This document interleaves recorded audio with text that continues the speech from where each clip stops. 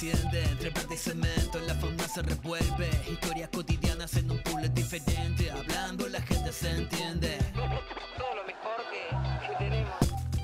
Lo digo, lo digo, está empezando a mirar Montevideo. ¿Por qué? Porque lo indica cada vez mejor. Cada vez mejor. Qué grande, qué grande. Ah, pará. Segunda vez que le invocas al lente de la cámara. Segunda vez, en la tercera, pa' afuera Pablo, a buscar laburo a otro lado. Suerte, en pila. Bueno, pero, Reset. pero quiere decir, viste, como cuando tirás los, los dardos, Sí. ¿no?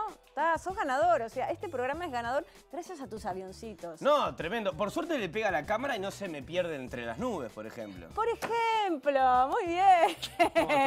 Me- me- él siempre engancha todo, él siempre engancha todo. ¿Y eso a qué se debe? ¿Por qué? Porque vamos a estar entrevistando a la artista visual, directora de arte, de películas de animación, este bueno que tiene una trayectoria muy, muy larga, se llama Lara Severi y justamente este, creó una instalación ahí en una sala que hay en, en el piso de arriba del Teatro El Galpón que se llama Perdidos en la Nube y que tiene que ver con la hiperconectividad, ¿no? Tremendo. Cómo estamos todos este, conectados, sobre todo desde, desde lo digital y cuán conectados estamos humanamente. Clarísimo. Entonces hizo esta instalación inmersiva eh, y bueno, vamos a charlar un poco con ella de qué trata y los vamos a invitar obviamente a verla porque vale la pena y les cuento que si ustedes son espectadores de esta instalación van a formar parte Eso te de a la decir. instalación. Cuando No es que van a ser inmersivo. unos espectadores así... Cuando inmersivo es, Pasivos. es inmersivo, ¿no? Cuando, y también eh, tiene una pata muy importante también en la música, ¿no? Es como... eh, se- hay- hay- Absolutamente, vamos Muchas a- disciplinas que, se, que se, se meten, bueno, ni que hablar lo, de, lo audiovisual, pero me gusta esa proyección este, en las paredes. Bueno, no vamos a spoilear mucho. Son como 27 metros de pared y hay un día que es el 22 de, de agosto que van a estar los músicos En tocando vivo. en vivo ahí. Pero bueno, todo eso lo vamos a estar contando, conversando con Lala Severi en el segundo bloque de este maravilloso programa. Excelente, me encantó. Y si hablamos de Perdidos, también te podría decir una película que me gusta mucho, Perdidos en Tokio, ¿no? Porque sigo, hoy estoy para enganchar todo, No, sí, no, no. televisión de los 90. Atención. Y de alguna manera me avala este proyecto musical que se mueve de una forma atemporal también. Tanto que mezcla un montón de estilos que por momentos podrían ser antagónicos. Decís, bueno, un poco de milonga y tango con hip hop y trap. Bueno, estoy hablando de mm, chicas japonesas, este proyecto que ya tiene varios años, fue con su disco debut ganador del premio Graffiti a Mejor eh, Rock Alternativo. Eh, Ya por y- 2009, hace un por buen 2009, tiempo. sí, hace un tiempo. Eh, bueno, pero son dos viejos conocidos, dos Gabrieles ¿Cómo dos conocidos. viejos conocidos? Perdón, no por lo de viejo, pero porque hace años que están en la vuelta. ¿Está Ya, empezamos mal, por favor. Estoy hablando de- del poeta, performer Gabriel Richeri, del músico Gabriel Córdoba, que bueno, también Gabriel Córdoba, este, yo miré muchos videos y música de Rosa Mosqueta, tengo que, tengo que este, Bueno, decir la verdad, y acá pasaban, acá, Y acá en TV en Ciudad, TV Ciudad, tremendo. Este, cuando arrancó que pasaban, era mucho videoclip y Mucho videoclip, Rosa Mosqueta estaba estaba siempre ahí ahí. siempre. Bueno, pero eh, Chicas Japonesas acaba de sacar un disco llamado Niña Calavera y lo va a estar presentando ahora el 21, perdón, el 19 de agosto a las 21 horas en la Sala Magnolio. Por suerte nosotros tenemos un poquito previo de su música acá en Miramonte. Divino. Y después vamos a tener a Agus. Acá en el estudio, Mirá. porque va a estar presentando una nota de una obra que se llama Eucalipto Blanco, que este, su actriz es un unipersonal de Lucía García, que es este, tremenda actriz y además tremenda directora. Así que bueno, nos va a estar contando un poco de qué trata esta obra. Tiene algo de misterio, una locación que no se dice, ¿no? Tiene Sí, sí, sí, parece que hay como que arreglar si querés ir a ver la función, Me gustó. etcétera. Está, está bueno eso, ¿no? Está Cuando bien. uno va y no sabe a dónde. Es un- no, y es un- y y es un lo que le va a deparar. Y es un poquito destino. más en la, en la- en la propuesta. Tiene como ya desde el vamos el misterio, me parece que le suma muchísimo. Y el misterio de saber también, eh, por ejemplo, Morena, ¿dónde estará? ¿Con quién estará? Puede ser que ya estemos ahí contigo, More. Hola, hola, ¿cómo están? Bueno, es una alegría saludarles desde aquí, desde el Hotel Ibis. Estoy con eh, muy bien acompañada por Santi Echavalete, eh, que eh, va a estar tocando este viernes 18 de agosto a las 21.30 horas en Magnolio Sala y de eso vamos a estar hablando con él. Santi, ¿cómo estás? ¿Qué nos espera para este viernes? Bueno, buenas tardes para ti, More, y para toda la, teleaudiencia y, el equipo de Mira Montevideo.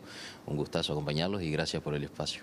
Eh, bueno, traemos un pedacito de allá de donde venimos este, y también con, influencias de, la música más urbana, más, más de Montevideo y, y de otro tiempo también. Este, pero siempre bueno con la impronta de lo que de lo que venimos haciendo y del lugar de donde venimos, ¿no? Muy bien. Eh, vos naciste en 33, te- tu música tiene eh, gran influ- flue- influencia de folclore, de tango, de milonga. ¿Cómo nació ese gusto por eh, esas, esas corrientes artísticas? Eh, ¿Te acordás, recordás algo? Sí, sí, claro. Eh, primero que en mi casa siempre tuve el acceso, este, estuvo a mi alcance investigar y mu- mucho material para escuchar. Eh, y después que en 33 eh, culturalmente se vive, se vive eso este, en la esquina, en los cumpleaños, en las juntadas, eh, muchos referentes de allá, de- del pueblo que tal vez no son conocidos a nivel nacional, algunos sí, como los limareños y como muchos más, pero, pero también muchísima gente que anda haciendo cosas en 33 desde hace muchísimo tiempo y que bueno, uno desde muy chico tiene, tuvo la- la oportunidad de compartir y, y- y- y de esas vivencias, ¿no? Del Festival del Olimar también, que, que es nuestra fiesta por, por excelencia de 33, el, el evento cultural de 33 que junta muchísima gente y bueno, yo desde que tengo uso de razón me acuerdo en esas instancias, ¿no? Así que bueno, yo creo que un poco me encontró a mí más que yo buscarlo. Muy bien. Eh, hablaste de festivales, de eh, esos lugares eh, que, en, los que te has destacado mucho. Eh, ¿Nos podés eh, contar quizás algún referente, alguna referente que tengas eh, artísticamente? Y bueno, es ineludible la, referencia a los olimareños y, a Pepe Guerra, en mi caso que tuve este, la suerte de poder trabajar con él y con los olimareños también. Esa es la referencia mayor.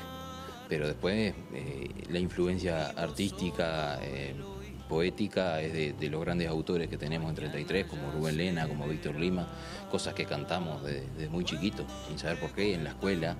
Eh, después le vamos encontrando un sentido este, que tiene mucho que ver con, lo sencillo, con ese esquema de que la gente se sienta con propiedad de lo que escucha, de su lugar, de su paisaje, este, de su terruño. Eh, hablas de, de esta manera tan cálida de la poesía para vos. eh, capaz que nos podés contar a las demás personas qué significa para vos eh, la poesía, qué importancia tiene. Hay, hay, una, hay una frase muy linda que, que viene de, de- de un autor de allá de 33 que eh, acerenciado en 33, Víctor Lima decía la difícil belleza de lo sencillo. Y me parece que va por ahí, por lo menos en, el, ramo que estamos nosotros, en- o en esta corriente de, música popular con, raíz rural, o, ¿no? Eh, yo creo que está, va por ahí, eh, la, difícil belleza de la sencillez, de, contar esas cosas que, todo el mundo conoce y que, con las que todo el mundo se puede sentir eh, representado.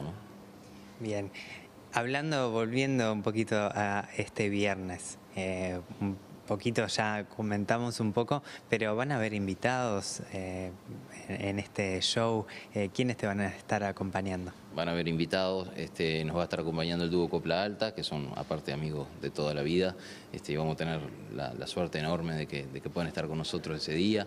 Va a estar Juan Pablo Silva, el, eh, maestro él de escuela, que es integrante del grupo Puro Chamullo de la ciudad de Tacuarembó, este, que traen también esa, esa corriente del, del norte, de, la, de la música folclórica del norte.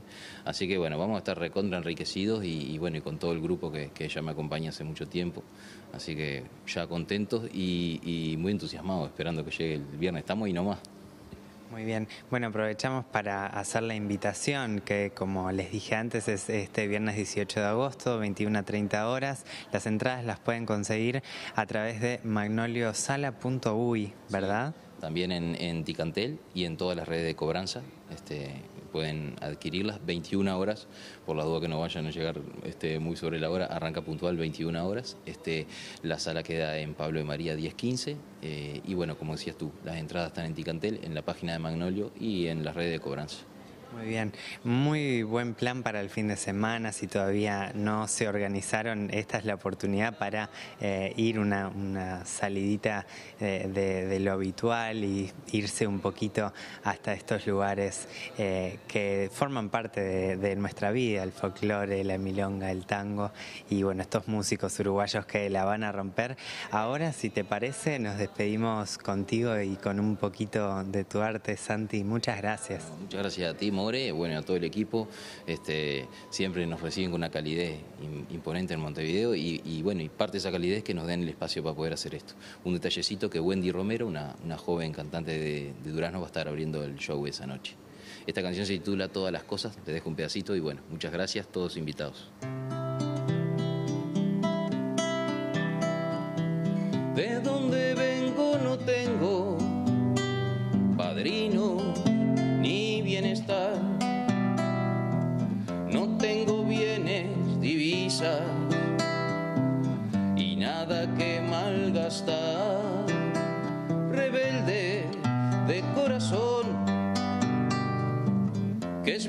Constante mirar.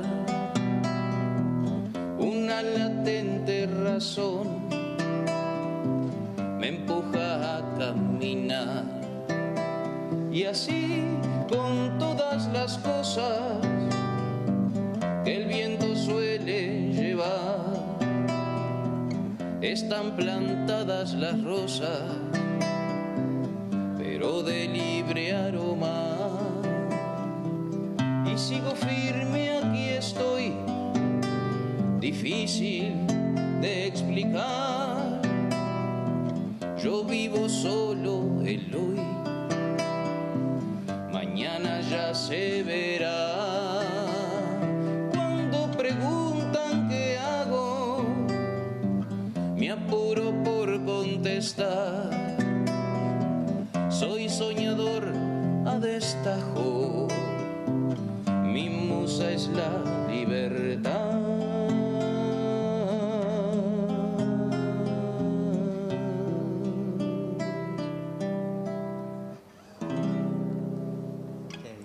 muchas gracias. ¡Grande, Santi! Qué lindo, acá todo el estudio aplaude. Santi Chavalete, muchas gracias, muchas gracias. La Qué generosidad, generosidad, como total. decimos siempre. Sonó precioso, además, Divino. La Acá, cuando, cuando- perdón, cuando las canciones son buenas canciones, ¿no? Ya está. Qué lindo, sí. Bueno, y así este, va a sonar este viernes 18 de agosto, Santi Chavalete en Magnolio Sala, pero se pueden quedar a dormir en Magnolio Sala igual, o pueden irse y volver el sábado. ¿Por qué? Porque el sábado 19 de agosto, Chicas Japonesas presenta su nuevo disco que se llama Niña Calavera. En este disco participan dos poetas, Agustín Lucas, poeta uruguayo muy conocido, y también Paula Bader, que es, es la que los está acompañando hoy acá en, en Mirá Montevideo. Ella es de Tucumán. Y bueno, vamos a escuchar un poquito a Chicas Japonesas antes de esta presentación del nuevo disco. Acá los tienen.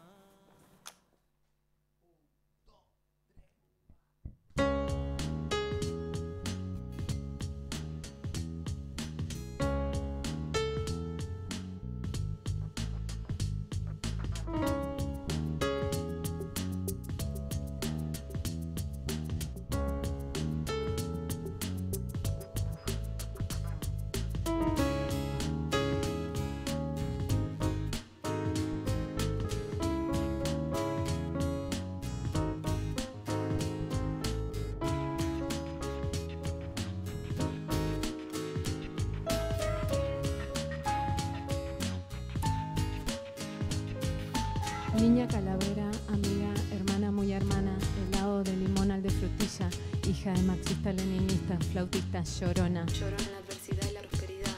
novia, amante, novia, novia, 2 de noviembre en México,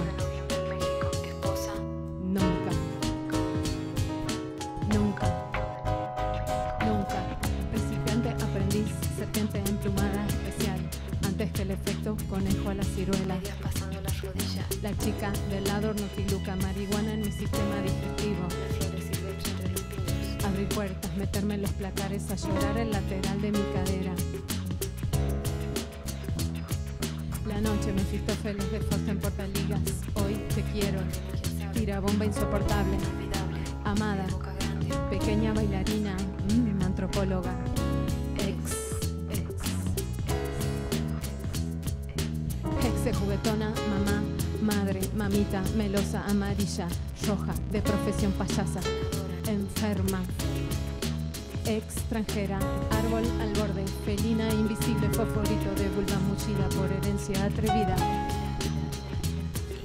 Paulita, florcita, putita, terca caprichosa tejedora, amante del fuego y del agua en mis pezones, manzana, uva, mora, acomplejada, semisuicida.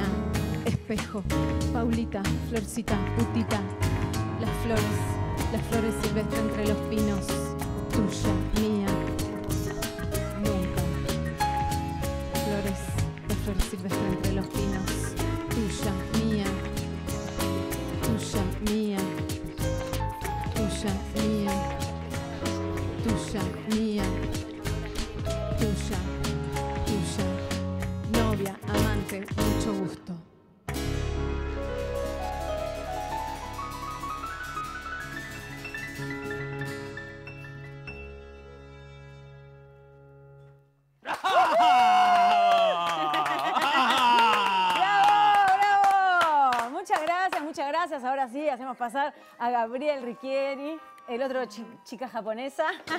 Yo me mandaba por un La lado chica. incorrecto. No, perfecto. No hay lugares correctos para ir. Cada tanto hay alguien que nos guía. un.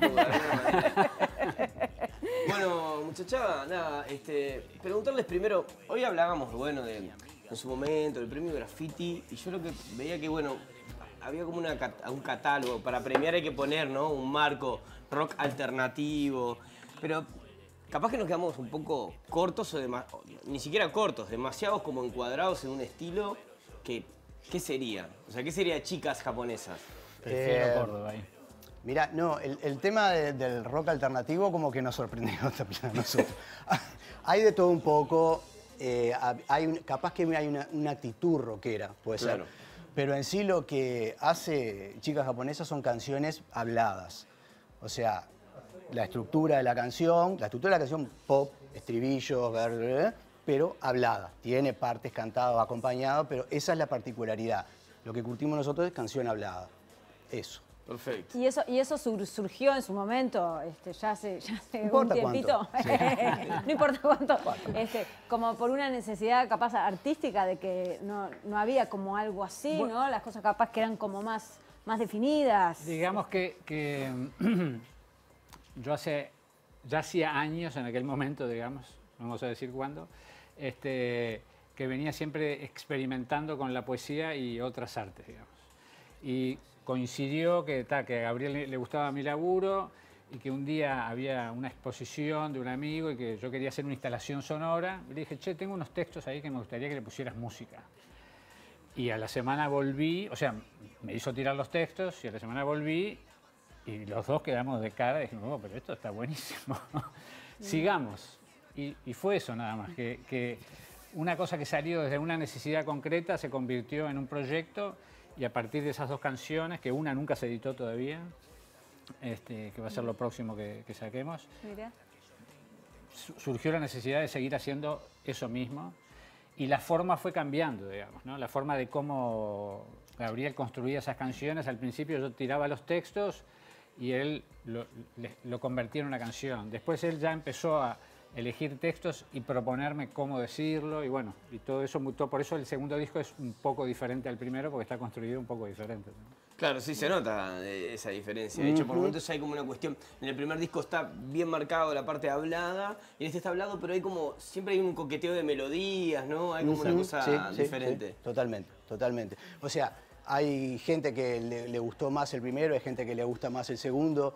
Eh, está bueno, está. O sea, digo, eh, pasó un tiempo interesante entre uno y otro. Este, se sumó Paula, ahora para el vivo entró Fernando Cid, Moya ya es un viejo conocido. Este, y, y bueno, se fue armando diferente. Pasó un tiempo interesante que permitió también una relectura de lo que habíamos hecho y lo que queríamos hacer, pero siempre hay un poco de, de algo fortuito, ¿no? De lo que vas planteando, cómo va surgiendo. No hay quizás un plan determinado de voy a hacer esto, Claro. vamos a hacer esto. Se va dando y después está, lo, lo vamos armando. Paula, ¿y ¿cómo llega tu, tu- tu poesía? ¿Cómo llegas a formar parte de, de- de esta banda? Fue cuando eh, Gabriel me invitó, de- fue a ver Corazonada, un espectáculo que armé con mi poesía en la Zabala y él me vio ahí y ahí me sugirió que le comparta unos textos y él es el que elige, digamos, yo le mandé, no sé, unos 15, 20 textos, Más. siempre me está pidiendo más. Y él eligió algunos y ar- ar- arma las canciones, digamos, yo voy, grabo y ahí me empecé a sumar.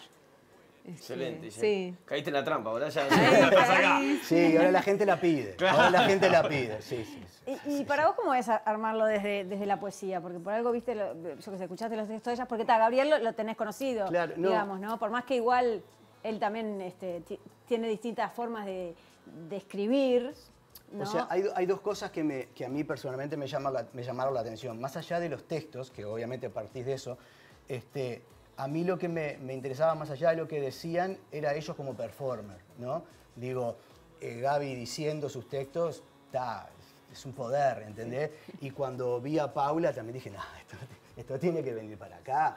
Entonces digo, está, los textos los fuimos eligiendo, fuimos agarrando, pero lo que, lo que también me gusta muchísimo es su decir, que es bien, es bien distinto, ¿no? Es bien original.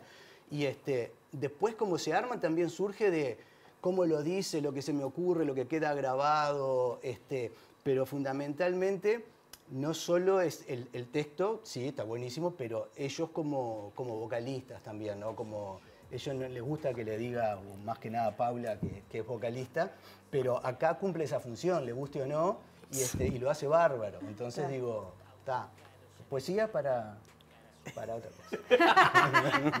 Excelente. Bueno, muchacha, el 19, el- en la sala, ¿cómo, cómo va a ser la, cómo va a ser el show? Me imagino que, bueno, estaremos en los dos discos.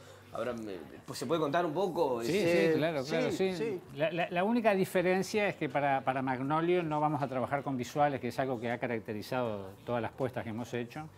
Por un tema de recursos técnicos de ahí la sala, ta, dijimos, vamos a priorizar Y porque apostamos a otra cosa también. Hicimos varias, varias puestas también que eran solo luces y, y quedaba bueno. bueno. También le daba otro dramatismo, otra cosa, este, otro protagonismo a la banda.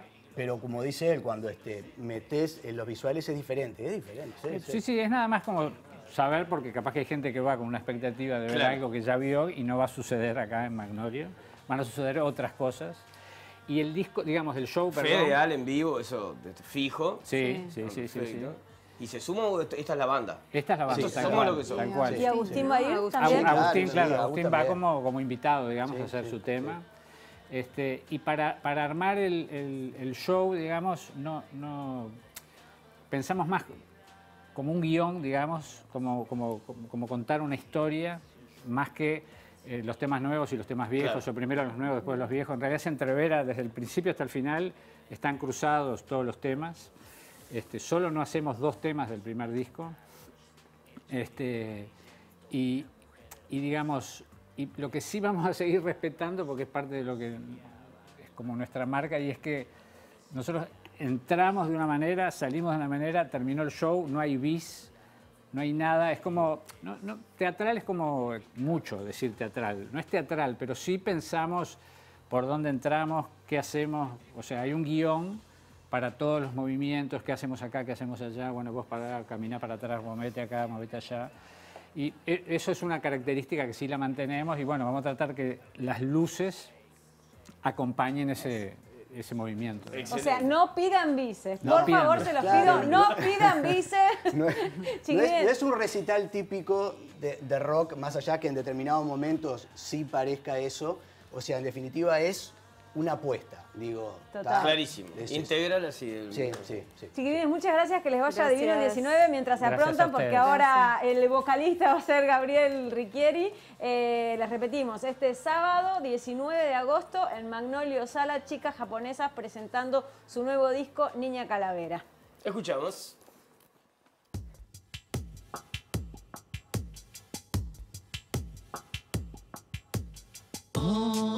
Me siento desigual. Hoy me siento desigual.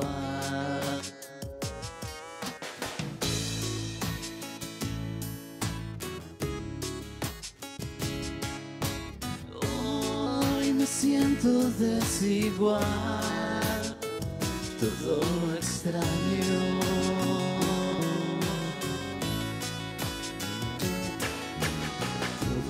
Lo que soy y lo que fui, todo lo que hago y lo que di, todo lo extraño.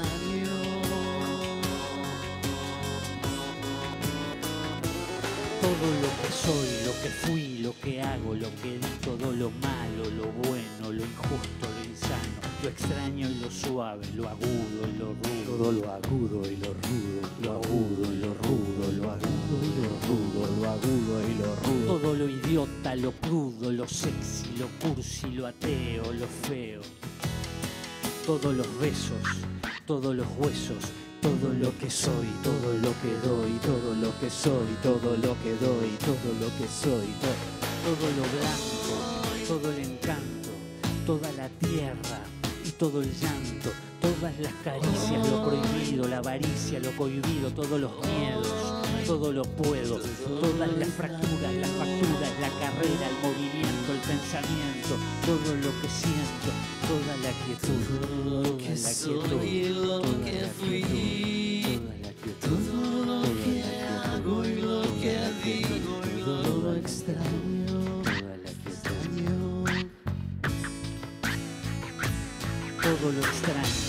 En un momento dado que a veces coincide con una cantidad de aciertos y a veces como consecuencia de un montón de errores, en un instante parecido al exacto lugar en la cabeza donde se produce el dolor que provoca tomar el primer trago de un licuado helado, algo así como mirar el cielo estrellado por primera vez y darse cuenta que no se sabe en un momento dado, dado por el azar, que colocó la cara de ese dado en el lugar donde debe estar.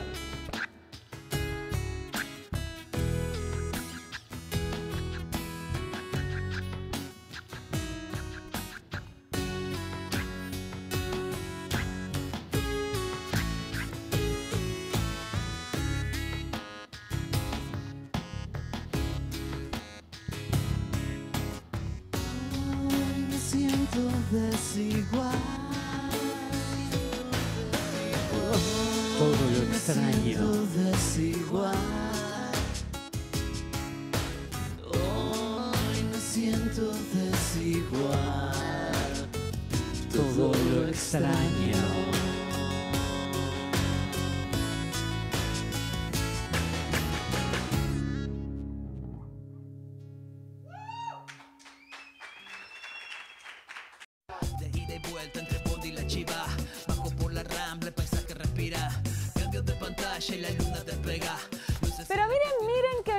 Que que, Guillote, sí, lo lamento, nos estás este, enfocando a nosotros, enfocando en caja eh, con esa cámara y todo.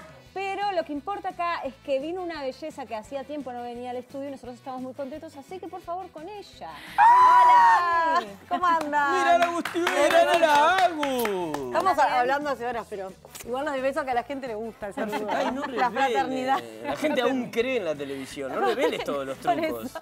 Vamos a hacer de cuenta que no nos veíamos. ¿Cómo andan? Bien, espectacular. Muy bien, eh, muy contenta. Traigo una obra espectacular que quedé, cuando hice la nota, quedé sorprendida por todo lo que me contó Lucía, que es eh, la creadora y la actriz. Lucía García, una Lucía crack, García, una genia. directora. Y también está con otra obra que se llama Sala de Profesores que estrenó hace poco. Es eh, multifacética. pasamos dos chivos. Claro, ya le pasamos los dos De chivos. Lucía García. Quedamos bárbaros. Bueno, fuimos al lugar donde sucede esta obra, que es una locación secreta, así que no pregunten, no les voy a decir nada. En el momento de adquirir la entrada te dan la... la Si la- vos comprás la entrada y una, un rato antes o un día, cuando la compres, te dan la dirección eh, para que puedas ir. Solo Y es se- en Bella Unión. este, tenés que tomarte un tiempito. No, ya se dice que es en Ciudad Vieja, eso sí lo, lo blanquean. Así que bueno, eso sí lo podemos decir. Estuvimos ahí en el escenario mismo, que está, tiene una intervención buenísima, van a ver que hay unas imágenes muy lindas que hicieron los compañeros. Y, y bueno, es una obra que me llamó mucho la atención porque el puntapié, el disparador, fue que su hija corrió gritando diciendo que un árbol había gritado, que escuchó un árbol gritar, un eucalipto blanco. Entonces, en base a Mirá. ese, ese delirio, no, porque viste que los árboles hacen un poco de ruido. Entonces yo digo, yo le quise dar la derecha a la niña y decir, capaz que estaba justo crujiendo, Ah, haciendo un sí, ruido y la niña dijo, está gritando. Puede ser. Está Había bien, viento ese día. Había- eran balizas. Siempre hay viento en Rocha, siempre está fresco. Está, es, un- es- es una niña en este caso. Si fuera un un- adulto podría ser que, bueno, estaban... Estaban balizas también. Bueno, ¡Ah! ¡Qué le me encanta el prejuicio! Una cosa llevó a la otra. Bueno. después sí la Nada, realidad. esta obra está muy buena. Es un eh, autoficción porque es como parte de su biografía y de cosas que a ella sí le pasaron. Y eh, también surgió en base a un taller que estaba haciendo ella, y en base, que era sobre biografías y, y ficciones así y textos. Entonces creó esta obra maravillosa. Y bueno, le traemos la invitación. No quiero decir mucho más porque ella explica Sí, claro. todo. Eh, también decir que fue el texto seleccionado por los fondos concursables del MEC, eh, como para poder impulsar y hacer la obra. divino. Excelente. Así que bueno, este fin de semana son las últimas dos funciones y no se suspende por lluvia porque la locación es techada, eso sí lo puedo Perfecto, decir. bien. Así que nada, la vemos, Dale. si les vemos, parece. Gracias, Dale. No, por gracias. favor, a ustedes, chau.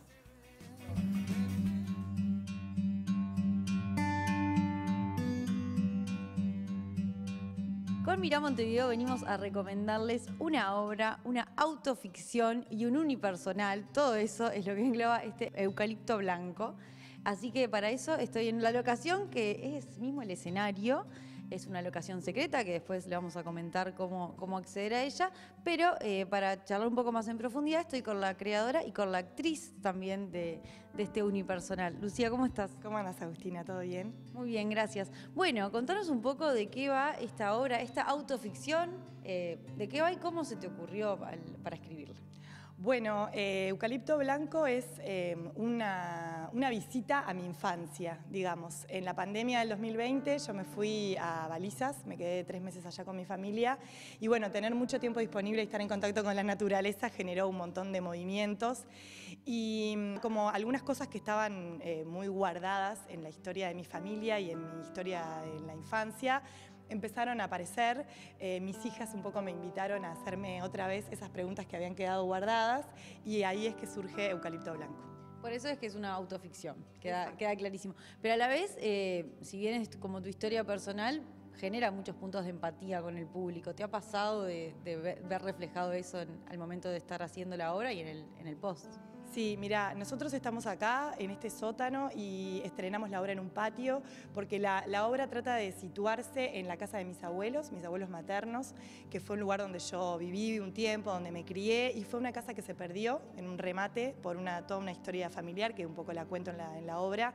Y lo que pasa es que con los espectadores es que todos tenemos alguna historia familiar que guardamos en un cajón o algún secreto que quedó tapado o algún familiar que dejamos de ver sin muchas explicaciones, sobre todo cuando pasa en la niñez o en la adolescencia, que de repente no, mi adolescencia y mi niñez no son como ahora que hay WhatsApp, hay Instagram, ¿no? Entonces hay personas con las que dejé de tener vínculo y desaparecieron, eh, que fueron taladas como un eucalipto blanco. Por eso también el nombre, este, como en, la metáfora de, esos árboles, que en realidad los árboles nos invitan a respirar profundamente y son una cosa hermosa de la naturaleza, pero que también esta especie se planta para ser talada, entonces tiene como esa contradicción ahí latente. Y entonces, bueno, eh, eh, nos, han, llegado mensajes muy, muy, muy profundos de, distintas conexiones, de cómo cada uno conecta con, con esta historia. Buenísimo. Dirige Carla Larrobla, ¿cómo, ¿cómo llegaste a hacer el equipo con ella? Carla Larrobla es como una amiga hermana que tengo desde que soy muy chica y, y por los, los materiales que, que- que se juegan en la escena y porque es una exposición completa de mi persona y de mi familia también. Este, yo tuve que compartir un poco el proceso también con mi familia porque la actriz de la familia soy yo, pero los demás no tienen por qué. Entonces este, necesitaba también tener cerca a alguien que más allá de lo técnico, lo profesional, eh, fuera un respaldo humano. Y bueno, y Carla es la persona indicada. Porque es una obra que tiene, al tener esa carga emocional y personal tan fuerte, me imagino que es una obra que terminás y estás como entre aliviada, cansada. Sí, mira, por suerte este, mm, es una obra que me ha dado como mucha liviandad. Me ha dado liviandad y me ha ayudado a, sanar. Yo creo que el teatro siempre tiene como una, una parte de sanación, sea la obra que hagas, este, porque transforma cosas. Pero yo hacía mucho tiempo que no actuaba y que no, eh, me dedicaba a la escritura y a la dirección, entre otras cosas porque tenía problemas en las cuerdas vocales y me pasaba más de una temporada de, de tener alguna función, estar llorando en el camerín porque no tenía voz y tenía que salir a actuar. Y mm, increíblemente decir esto que digo en la obra, hacer esta obra me curó la voz. Parece medio, medio, medio chamánico, medio mágico, pero es la realidad. Yo volví a cantar, volví a hacer cosas que no hacía porque mi voz no me lo permitía.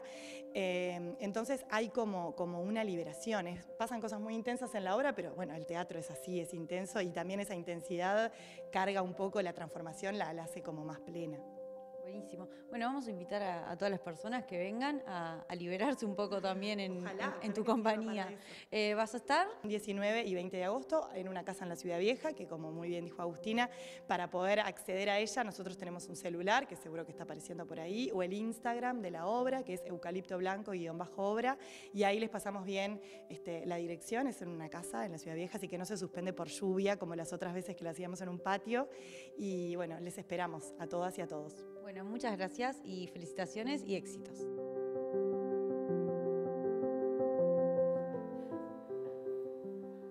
Y si hay algo que me gusta de este programa es que confluyen muchas artes, muchas disciplinas. Muy bien, tal cual.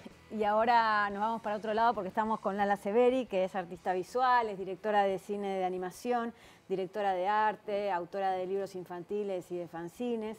Eh, bueno, ha trabajado directora de arte en películas de Tournier Animación, eh, que lo conocemos, lo, lo hemos entrevistado mucho. Claro. Walter, ella lo conoce muy bien.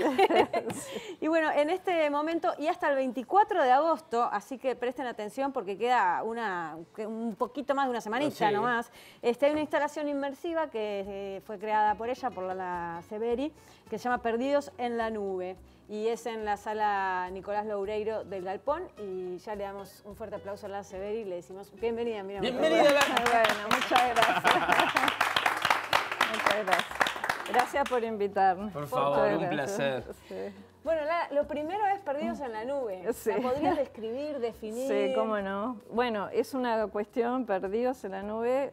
Cada vez estamos más perdidos en la nube, ¿no? Eh, La pandemia ayudó también a aumentar esa, ese estar hiperconectados, ¿no? Este, y encerrados y trabajando desde las casas y, ¿no? y viéndonos a través de cuadraditos. Y bueno, esto empezó, empezó con la pandemia, dije, no, quiero empezar a trabajar y conectarme con el mundo exterior, entonces agarré, dije, voy a trabajar digital y hago un dibujo por día en Instagram. Me metí con las redes que nunca las quise usar, pero bueno, fue una necesidad del momento de conectarme. Y después seguí porque era un juego, era, eh, o sea, era un juego que me inventé, que era dibujar uno por día y ponerlo en las redes. Claro. Este, ese juego me generó, porque cada vez que dibujo me tengo un historial, que es el proceso que dibujo, que es un video, un video animado, que son muy atractivos cada video, ¿no? Claro. Porque es ese proceso de que uno trabaja y borra, va para atrás, va para adelante, tiene una cosa muy... este, Esto cuando trabajás eh, tipo en, en la tablet, tableta, en la tablet, ahí y te pones entonces, claro, el historial es, es como el- todas las dudas, idas y venidas de, de- de la creación, ¿no? Qué maravilla, Entonces, que me gusta mucho más el proceso que la obra final. es así. Y bueno, empecé a ver que había un leitmotiv que era esto, la hiperconectividad, el encierro, la soledad, los vacíos. Había como, como muchas líneas ahí que se repetían. Y empecé a editar 800 videos tengo el día de hoy. Casi vuelvo loca editando. Eh, pero bueno, buscando esa línea y inventé esta instalación inmersiva. La presenté a fondos concursables, ganamos con Macarena Montañez, que es la curadora. Y, este, y bueno, empezó a crecer eso porque empecé a armar un equipo. Este, y, y- y claro, cuando hay un equipo eso crece, ¿no? Claro. Este, aparece eh, Leonardo Croato y Joaquín Baranzano que empezaron a improvisar arriba de los videos con la Con la música. y dijeron, no, esto tiene que ser sonido inmersivo también. Entonces hicieron cuatro canales diferentes de audio estratégicamente puestos en la sala. Entonces uno camina por ahí, estás adentro de un ambiente sonoro muy interesante. Que de repente hay pájaros, hay teclados, hay música. hay- está. Eh, eh, Lucas Carrier, que nos ayudó con todo ese aparataje técnico Claro, que era sí. complicadísimo. Y, este, y Porque bueno, son varias paredes. son un montón de metros, yo no me acuerdo ahora, pero son un montón y- de y de metros. alto también, Y, ¿no? eh, de techo a piso. De techo a piso. Claro. todo Y, el- y en la entrada les damos una túnica de gasa, ¿no? Para que cada uno sea pantalla y sea sombra, porque al entrar los proyectores están bajitos, entonces caminas por ahí y, y so- te quedas como adentro de los dibujos, ¿no? Te, te empiezan a aparecer rayas. Yo, yo hice cuando fui, hice lo que no había que hacer, porque claro, yo como que entro y de repente veo mi sombra ahí proyectada y enseguida tipo salí, onda, estoy No, no, no, molestando. es parte. ¿no? Era- no, era la no, idea. este, es parte. De hecho, eh, me contabas hoy que, que fue a ver la, la muestra Carolina Besubievsky. Ah, sí, el otro día fue tan divina. bailarina y coreógrafa. Sí, se empezó a mover y eso, yo empecé a filmarle atrás porque era una belleza lo que pasaba, ¿no? Con ella moviéndose y todo lo que el dibujo, parecía dentro del dibujo y ella moviendo y tratando de tocar. Este, estuvo bueno. Lala, ¿cómo trabajás, perdón, la dualidad esta de que, bueno, eh, empezar a trabajar, a, empezar a trabajar, no, este, participar del mundo digital, de las redes, viste, bueno, decías, recién contabas como que no eras de, de utilizarlas, y que eso de alguna manera te generara como eh, una cantidad de obras que terminaran confluyendo en esto, Sí. que se llama Perdidos Sí. en la Nube. Como, es una dualidad, ¿no? Porque por Es momentos como yo re- renegaba Re- de esto. reniego, pero me meto. Pero ahora me meto, y no solo me meto, Es sino. contradictorio. Claro, ahora lo. lo- Sí. pero, pero hay, hay también Es igual como. un- contradictorio, sí. Hay un mensaje en esa contradicción también, muchas veces. Sí, lo que pasa que, claro, me metí y, y y como todo lo que yo trabajo me atraviesa de lo que estoy sintiendo y como lo que estaba sintiendo es que estaba atravesada por lo virtual, en el dibujo me aparece. Claro. O sea, no puedo evitarlo que me aparezca que estoy metida en las redes.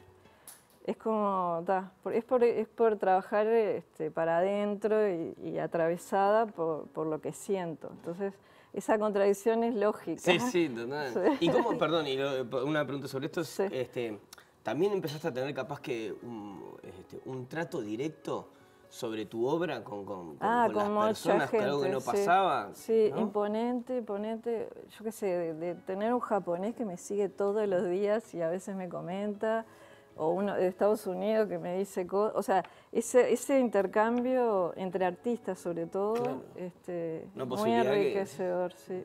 Eso está bueno. Y Lala, ¿ibas escribiendo un diario a la vez que, que- que Bueno, es ¿Cómo que es sí, es que para mí fue como una- un diario, porque eh, cada día yo hago un dibujo, lo posteo y pienso mucho el título, que es como, eh, es muy significativo, ¿no? Entonces yo empiezo a mirar el listado de obra y empieza a generarse un diario de vida, porque cada título, este, que, lo, que lo imprimí en una gasa enorme que está en la, en la exposición, entonces uno lo empieza a mirar y es como un diario de vida que lleva eh, tres años, ¿no? Claro, sí, sí. Este, son- es una oración por día, pero es muy sugerente, ¿no? Trato de que sea lo más poética posible.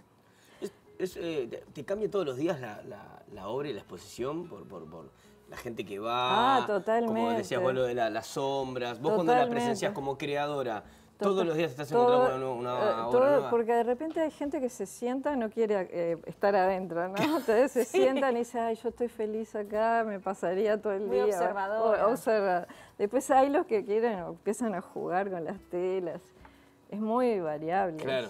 Este, O sea, podés revisitarla un montón de veces y siempre, y es- siempre es- hay tiene otra mirada. Claro, sí, totalmente. Yo me imagino que, que- que cada obra, un artista este, también lo, lo cambia o lo, o lo moviliza, ¿no? Lo, eh, sí. A vos este, todo esta, este proceso, ¿no? Y este, y este resultado final, que es este, Perdidos en las Nubes, ¿qué, ¿en qué sentís que te transformó? Bueno, este, creo que todos los días un poco me transformo, por- porque el hecho de estar, cre- para mí la palabra crear es fundamental en mi vida. Yo dejo de crear y me empiezo a deprimir. o sea, todos los días me va transformando y, y- y poder ir creando y que cada vez eso se va transformando en algo más grande eh, es, muy, este, es, eh, no sé, gratificante. Claro. Sí, es muy gratificante. Pero la- para mí la creación es como el eje que me sostiene la vida, ¿no? Es eso. Y esto de que hablas, ¿no? De, de- reflexionar tanto con el tema de la hiperconectividad Ah, y cuán sí. comunicados estamos, este, capaz que virtualmente y, y- y atravesados, ¿no? Vos decís Mm. atravesados por esas, Sí. por esas ondas Sí. de ahí y, y cuán comunicados estamos este, humanamente. Eh, eh, te, te hizo, digamos, eh, reflexionar de otra manera o aprender algo más sobre cómo poder manejarse en este mundo eh, actual, ¿no? Que, hace sí. unos años no teníamos. Y sí, es que uno tiene que adaptarse, ¿no? Lo mismo que ahora tenemos la inteligencia artificial, hay que usarla. Yo, yo digo, tenemos que irnos adecuando, ¿no? No podemos quedarnos, decir, no, esto no, y yo trato de seguir en la mía con el pincel Claro. y el papel. Podrá integrarlo de alguna manera, ¿no? sí, tratar de, de ver cómo, cómo se integra, ¿no? Lala, ¿tenés un, un- un- ¿Podés ir al pasado y tener un punto donde todo comenzó, donde dijiste tu primer creación o como un... un- me estoy saliendo un poco del libreto, pero tenés como un momento de... de- de- De esta obra decís. No, de no, digo en tu vida, la- Ah, que, bueno. que- que digas, ¿cuándo di- dijiste "Me- mi vida es crear? Eh, mira, mi mamá contaba, porque ya falleció, que me sentaban en una sillita de comer y con lápices y, me dejaban horas, horas y decía, y yo me perdí ahí. O sea, se- Está creo presente. que es desde siempre. Y, y fue una decisión que tomaste tempra- Eh, temprano. no, y siempre me gustó, o sea, siempre necesité hacer, dibujar, siempre, toda la vida. Y el dibujo fue como lo que me, es como la puerta de, de- de- de canalizar cosas. ¿no? Claro. Este, Excelente.